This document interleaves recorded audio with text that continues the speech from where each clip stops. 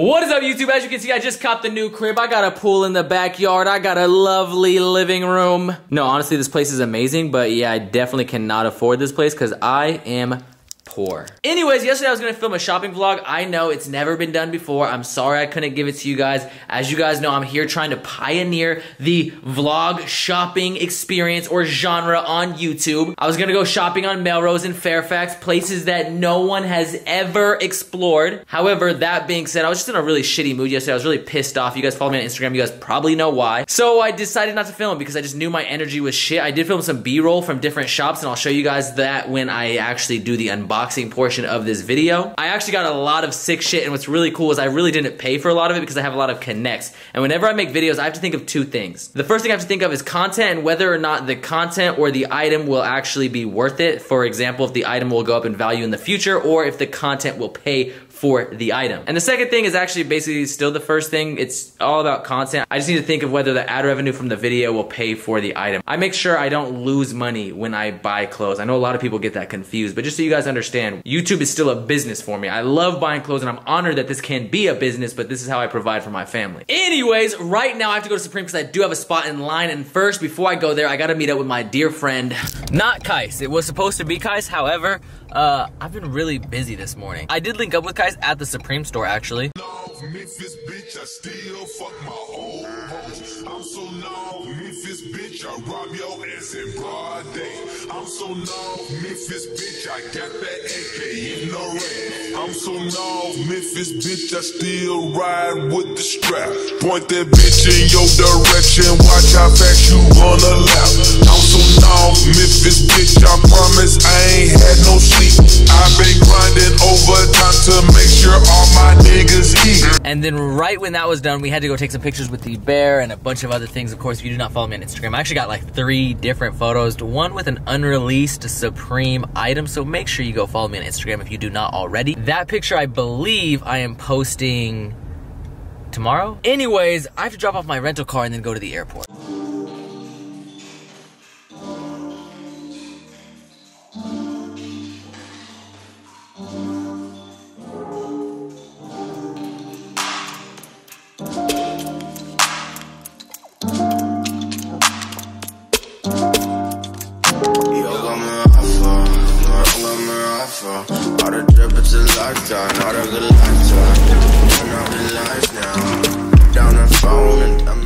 Have so much stuff to discuss. Now, I will say, before we get started, uh, I'm pretty lucky. The majority of the stuff I did get for free. None of this is sponsored. None of these individuals asked me to make a video. In fact, some of these individuals aren't even from the brands that I'm showing off. For example, I got some Born and Raised 424 stuff. However, I got that due to my connect at Barney's. And then also I got hooked up from Bodega from my friend who styles for Bodega. But it wasn't like a, hey, I'll give you clothes and you shout out. He just genuinely hooked me up because I used to sleep on his couch and I've been friends with him for quite some time before he ever moved to LA. If there was any sponsor in this video, I'd probably say StockX just because StockX paid for one of the pieces that I'll be showing off. However, it did not come from StockX. That being said, I still think you should use StockX and honestly, if you have the time to wait, I honestly needed this for a picture so I didn't have the time to get it shipped. But if you have the time to wait, StockX is the best platform. I'm telling you, I shopped for this item all throughout Melrose and none of the prices were cheaper than StockX. So definitely check out StockX in the description down below. And also in the description, I will leave a link to all of the items that I discussed today. The first pieces that I want to discuss are the Born and Raised 424 collection. Now, I'm not quite sure if you can get these things online or not. I heard a rumor that they are online. I saw some people post on Instagram. However, as far as I know, these are pop-up exclusives. If so, I'll be really bummed because there were only certain things that I could get at Barney's and they were limited when it comes to sizing. And they are missing a ton of things. Like, for example, they're missing these really cool denim that have 424 and BXR printed on the front of them and I basically what I heard from someone I talked to is that they were live prints at the pop-up, which really pisses me off because I had to come home early. Well, not early, but I just didn't know that was a pop-up date and I already booked my flights. It's just, why me? Anyways, if you guys have been following the channel for quite some time, you guys know Born and Raised is a brand that I genuinely love. I've been putting on for them for years, and I just love that brand. I just think that it's one of the only brands that, in my opinion, in the streetwear community is actually truly authentic to what they represent and that's very, very rare, especially these days in streetwear. Now, if you follow Born they have previewed one of the pieces for quite some time. However, one of the pieces they have not previewed is this right here. It has BXR. These are all chenille letters stitched in, and then on the hood right here has 424 embroidered, and this is kind of more of like a collegiate letter like a block font. And one thing that I really like about Born and Raised to keep in mind is that when they sew in on the hood right here,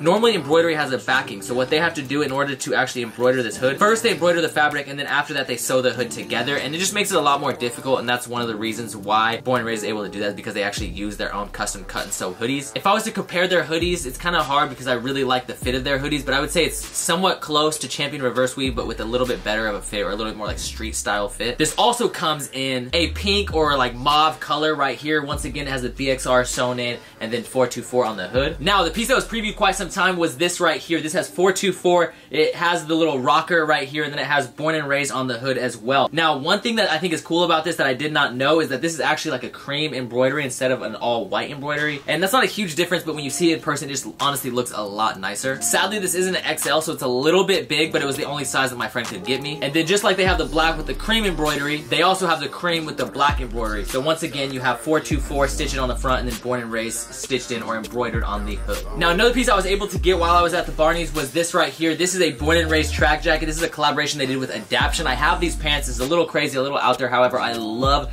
this pattern. I really like a lot of the Born and Raised collages. They do this sometimes on their button-ups and other garments, and I just think overall they kill it when it comes to creating collages. I really, really like the look as a button-up. As a track jacket, it's a little bit harder to pull off, I probably wouldn't wear the whole suit, but it's still something really cool to have in the collection, and I'm really interested to see how I can style this piece. I know I always reference Sanj because Sanj is like an inspiration to me, and I'll talk about him in a little bit, but I would really like to see how he would style something like this as well. Now, originally when I was talking about making this video, I was gonna make a video of me shopping in LA, and I was gonna just vlog the whole experience, and I got that idea because I stopped by Bodega, and when I first entered Bodega, it was such a unique experience. You walk through what looks to be like some sort of loading dock, and you walk through these like big plastic hangers like you're either walking into Dexter's murder room or freaking some like produce loading dock, which is what it's supposed to be. You keep walking and then to the left you see more of those plastic little things dangling from the doorway and you walk through and you're in this really cool, unique clothing store. And I really like concept stores like that.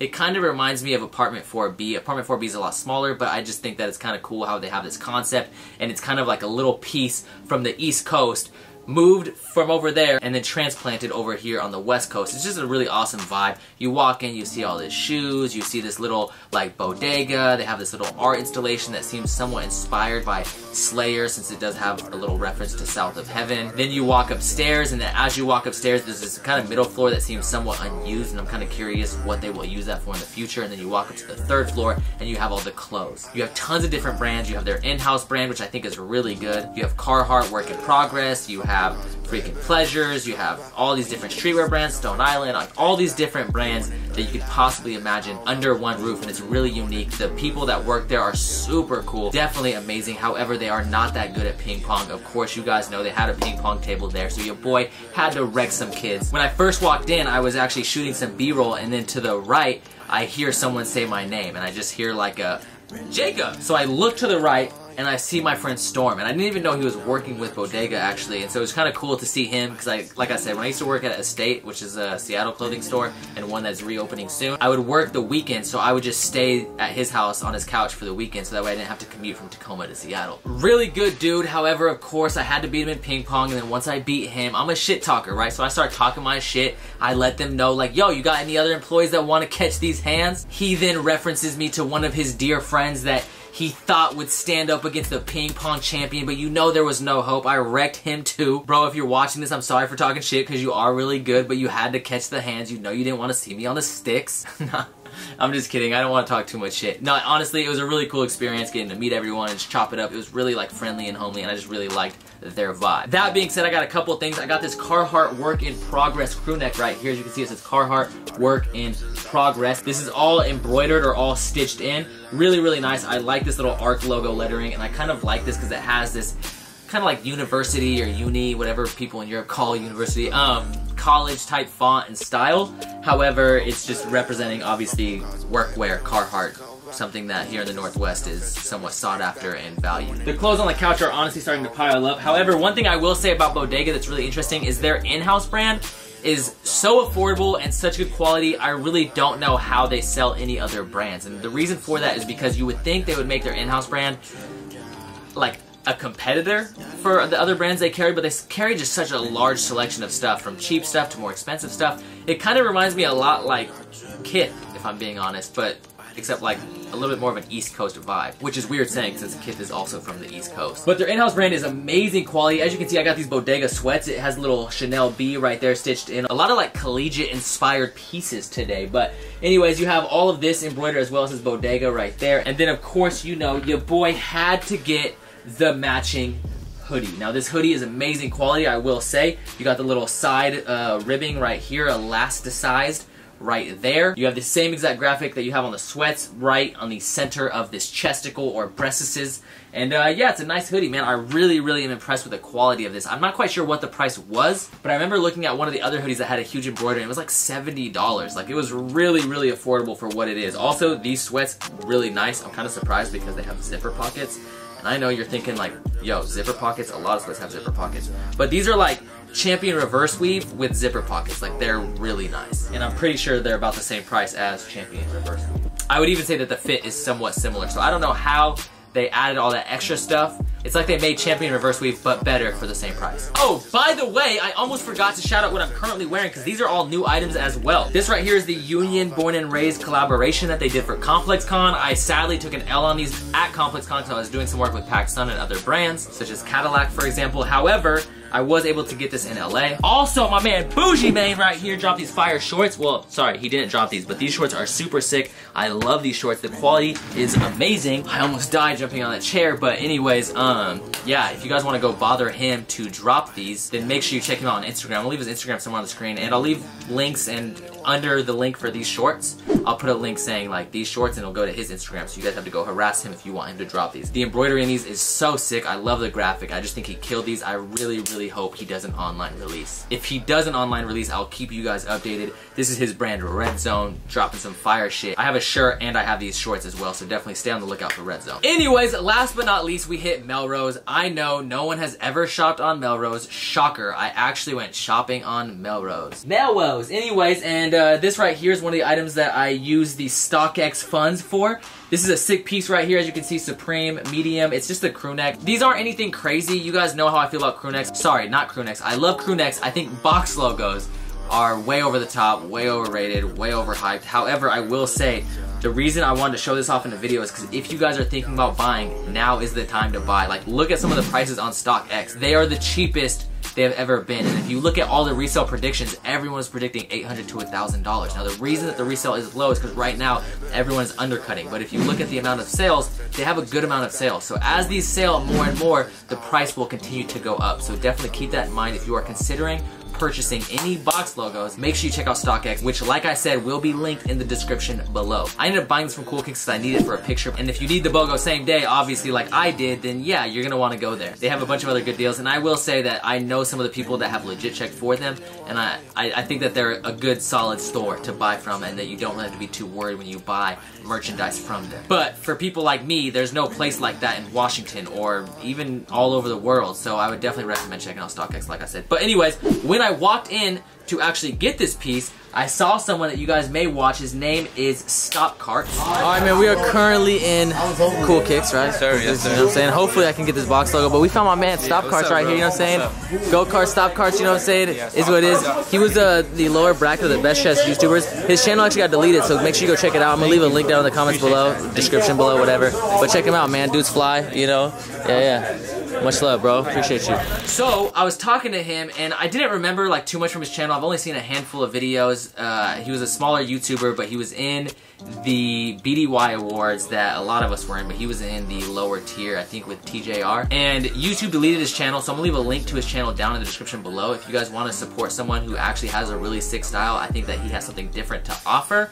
I haven't seen a lot of his videos, but I've seen some of his videos around golf, and he's kind of even inspired me or made me want to do videos between him and Sleepy. I like golf a lot, I just don't really talk about them on this channel because I don't know how they do in terms of views, but I do think that I like his kind of unique take on things. So hopefully you guys go subscribe to him, go support him, because obviously I don't want, I, I just want to, I don't want to see some creator like put all that work in, get 20, 30,000 subs, and then get their channel leave. That sucks, dude. So yeah, I got the box logo, I got the picture from my Instagram, which if you guys don't follow, change your life, go follow. That's the picture that I took right there. And then, last but not least, we stopped by round two. Now in round two, I wanted to get that Murakami pillow, but I'm broke and like I didn't really spend that much money. I know I got a lot of stuff, but I didn't really spend much money on this video. But one of the items that I had to purchase I have no connected round two because Sean Wotherspoon does not fuck with me. I'm pretty sure he actually hates me. That being said, I still, when I saw this item, I had to pick it up. This right here is a North Face Steep Tech jacket. It's actually a women's jacket. It's a size XL, however it does fit. It fits a little bit short, but honestly, I do not care. I needed this piece in the collection. It's absolutely gorgeous. You have the North Face embroidery on the back right there.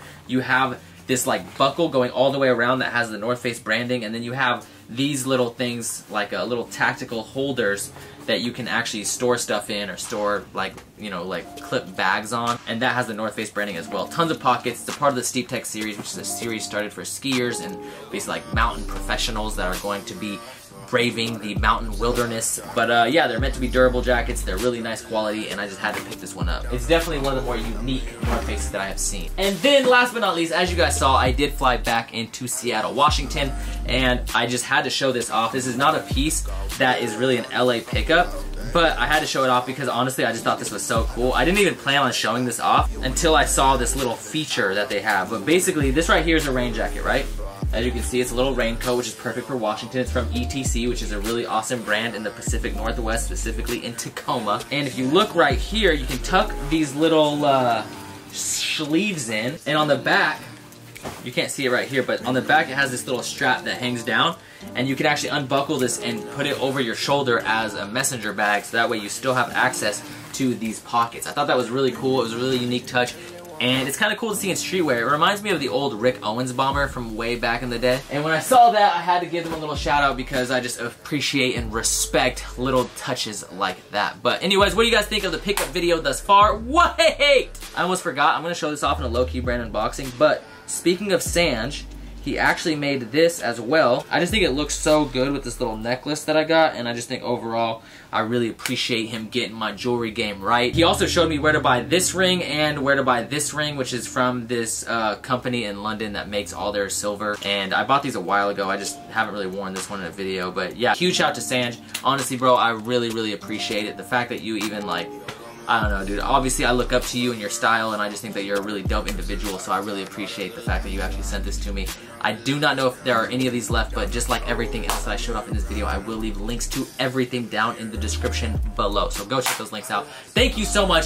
I appreciate from the top and bottom of my heart. As always, keep living the star life. Peace the fuck out.